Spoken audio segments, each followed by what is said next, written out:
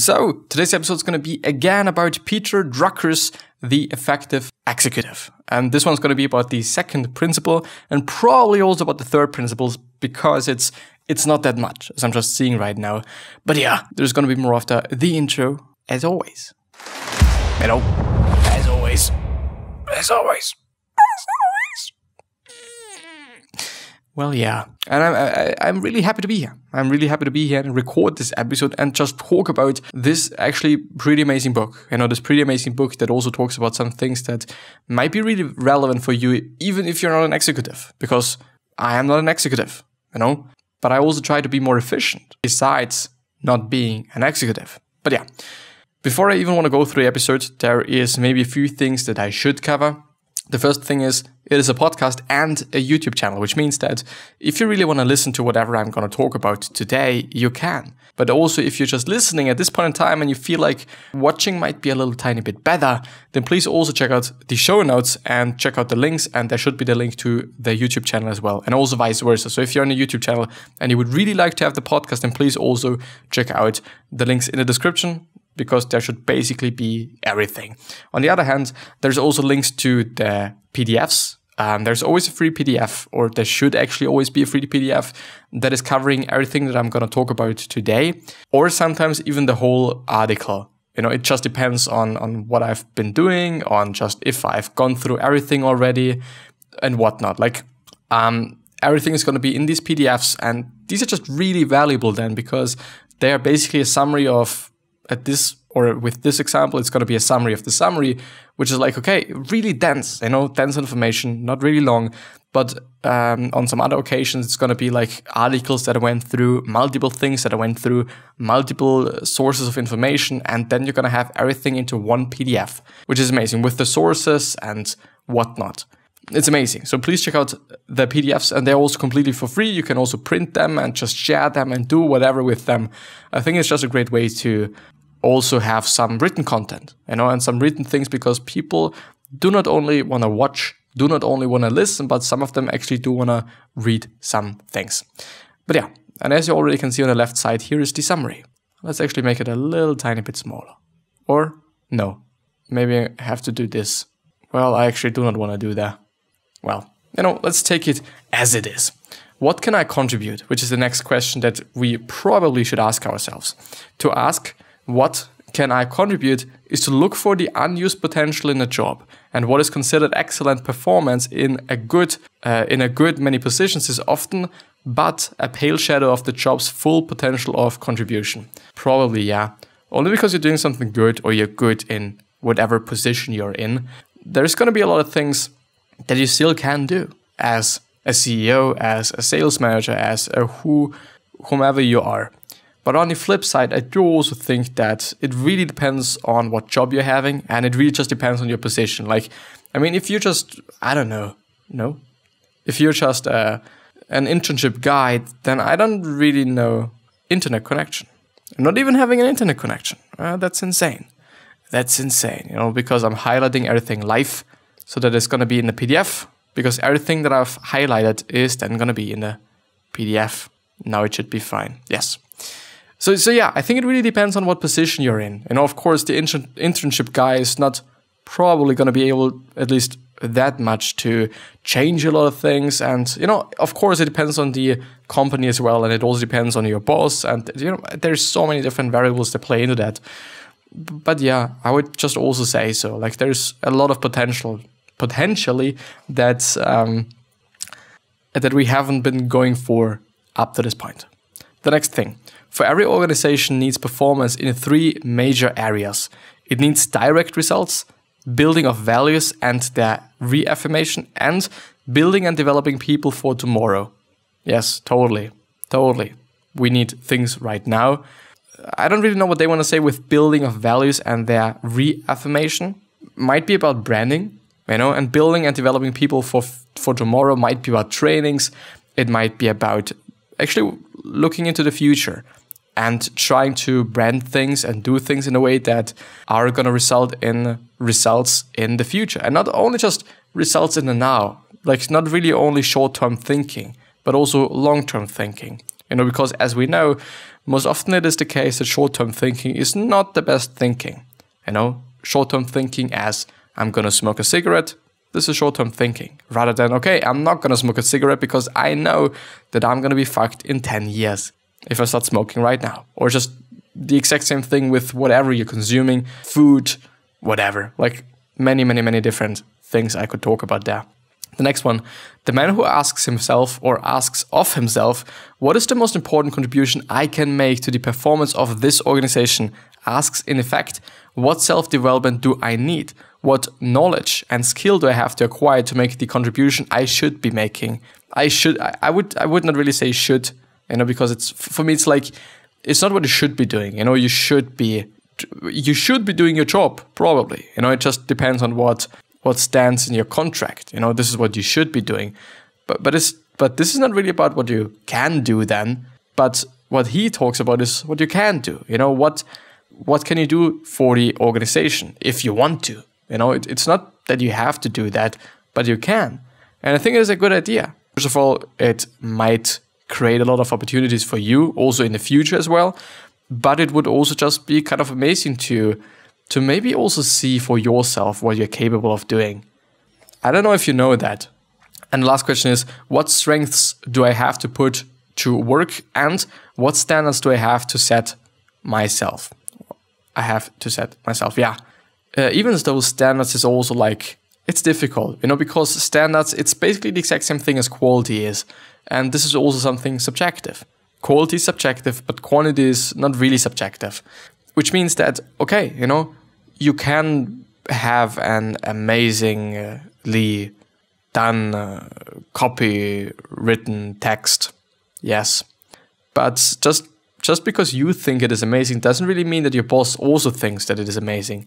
And just because your boss thinks it is amazing doesn't really mean that the client thinks that it is amazing or the end consumer thinks that it is amazing. Like there, there really is a lot into that. And quantity can lead to quality which means if you really try out a lot of different things, if you really try out a lot of different ways to to write a text, different titles, different uh, descriptions, different whatever, then you can figure out through just experimenting basically or actually trying out what the audience wants to have. You know, what's having uh, the best click through rate, what is having the most attention, what creates the most engagement, and all those things, which is basically, as I'm thinking about it, which is quite something uh, interesting, I have to say. This is basically what Tim Ferriss did with the four hour. I think it's been actually the four hour, uh, the, the four hour work week. You know, the first four hour week uh, or the first four hour book. Um, he basically just because the I think it's been the uh, what is it called the publisher yeah the publisher said like okay I'm not really quite sure about the title you know I don't know you know maybe it should be I think because in fact it is all about two hours. You know, I think it's not even four hours that Tim Ferriss was working in his business or on his business in the very um, later periods of him being an executive. But um, but in the end, what he did is he tried out what works best, and what he did is having multiple Facebook ads, as far as I know. Or what I know is that he had a lot of ads, and he just created a lot of ads with different combinations. And there you have to kind of be a little bit like a conscious of uh, cost reasons, I would say. You know, if you're just having five different titles and five different descriptions or five different subtitles, then there's going to be a fucking lot of different combinations you can do. And uh, this is something that he did automatically. I didn't really understand how he did it, you know, but maybe you can Google that. You're probably going to find it on his blog or somewhere else but he tried out all the different ways or all the different combinations that you can just have with I think it's been like three tiles or something. I'm actually not quite sure.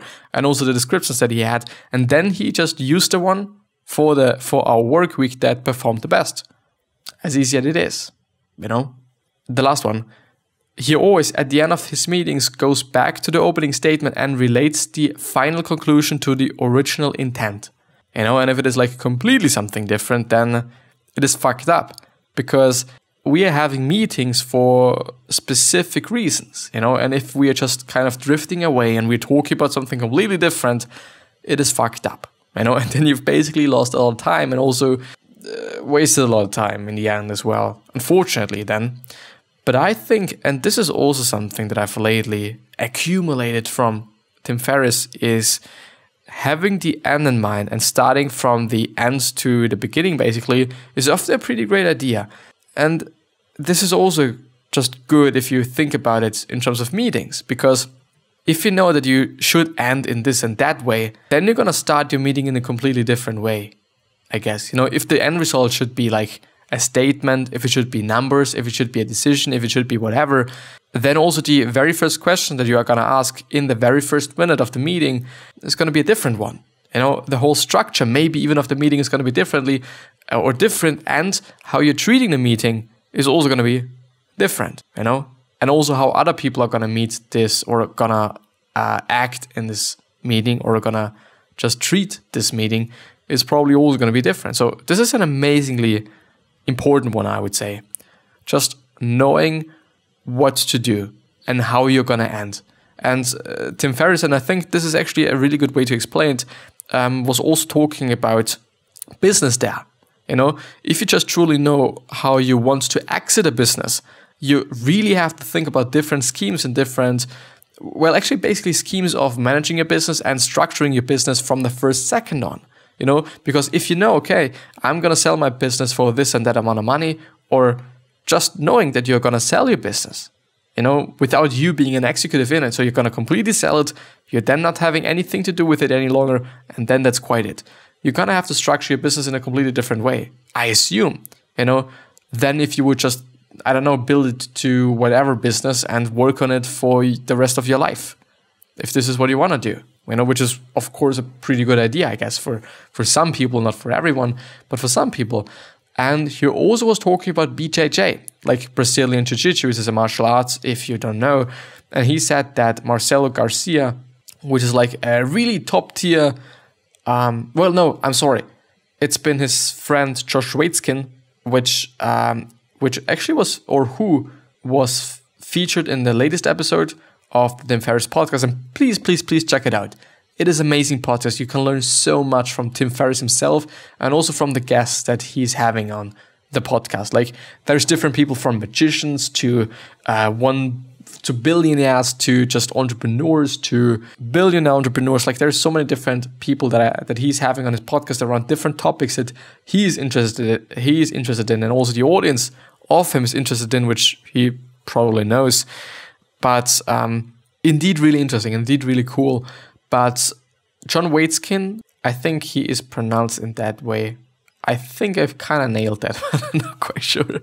Um, he was actually kind of a, a student of Marcelo Garcia, which has been uh, like the top tier, best uh, BJJ martial artist there is, the winner of nine championships, as far as I can remember, and many different other things. And uh, John Waitzkin, the friend of Tim Ferriss, showed him one specific move. One specific move that is kind of the quote unquote basis or one of the most important moves, or that is, well, how should I say it? Like learning this one move, move, move, um, will create such an environment, I would say, that you're going to be able to accumulate also other skills in BJJ. So it's basically like a, a really important move, you know, and it is, I don't know, maybe 50% of BJJ, even though, like, yeah, maybe even of self defense, depends on how you think about it, but it's the guillotine.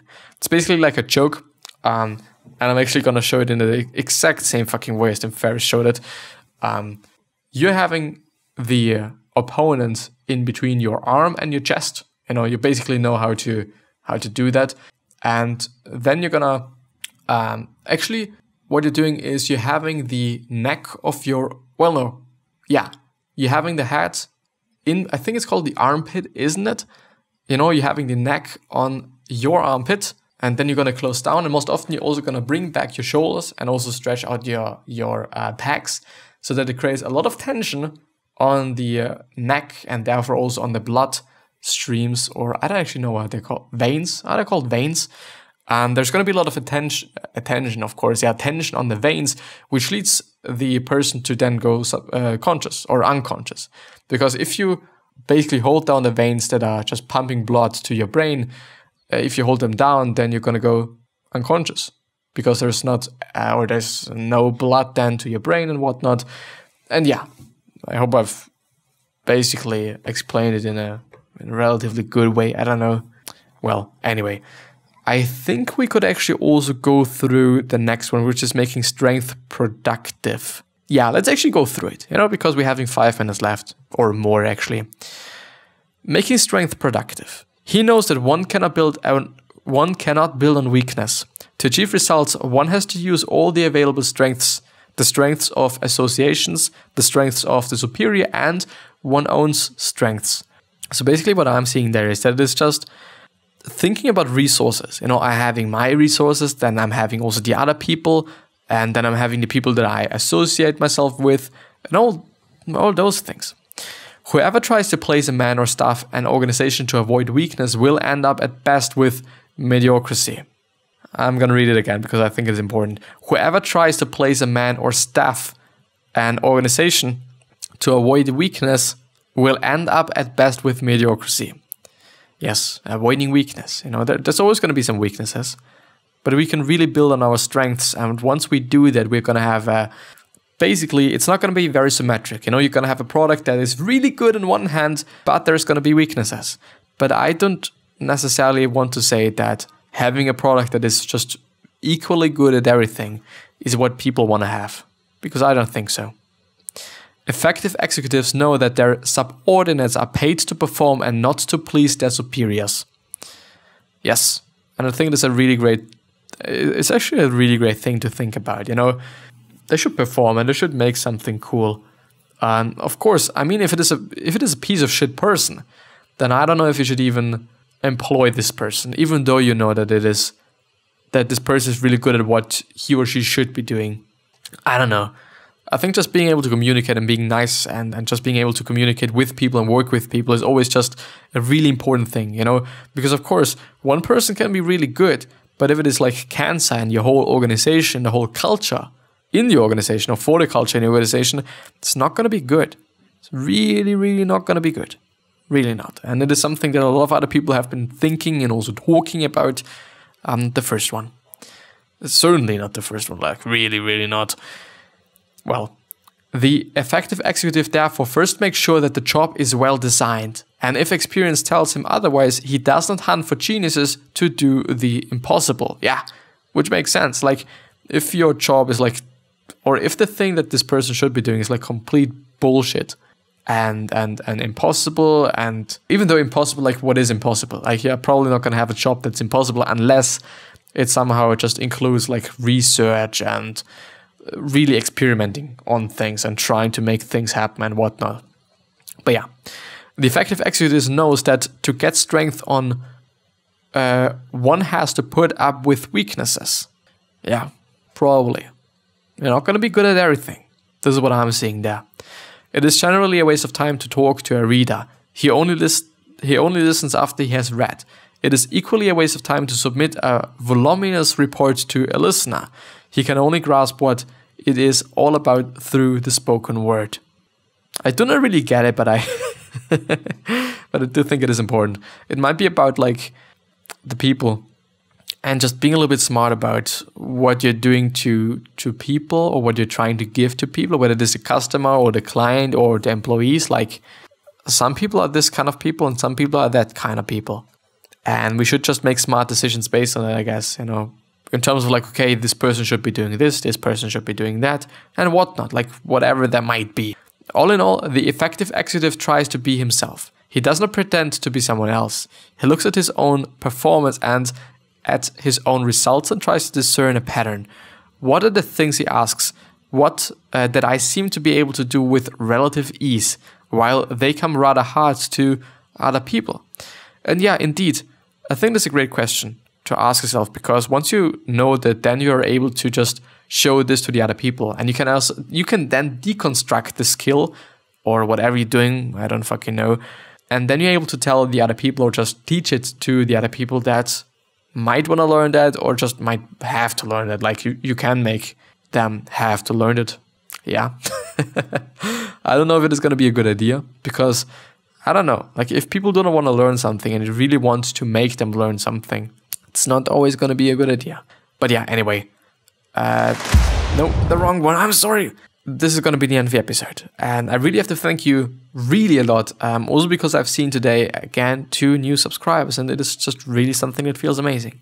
So thank you. Even though you, you haven't subscribed, thank you really much for clicking on the video. And thank you really, really, really a lot for going through this episode with me. 20 minutes is a lot of time. You know, 20 minutes is quite some time in a person's life.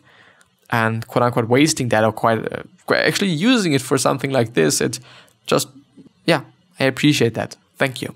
I wish you the best health, of happiness, and also success, and also hope that you're gonna remind yourself, I know you're gonna be remembered, which basically means your legacy, and basically means just being a nice person and then being remembered as a nice person. On the other hand, there's three other questions that I'm having for you, which are why are you here? What are you trying to change? And the last one is what is bothering you the most?